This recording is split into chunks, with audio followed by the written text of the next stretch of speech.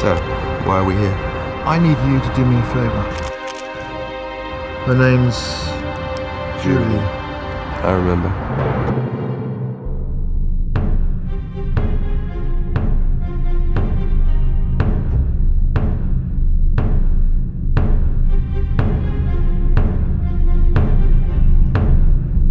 How long has it been?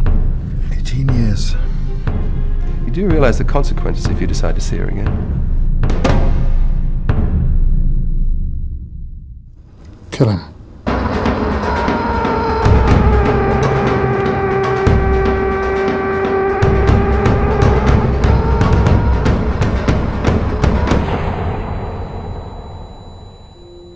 It's hard to watch one's own funeral, isn't it?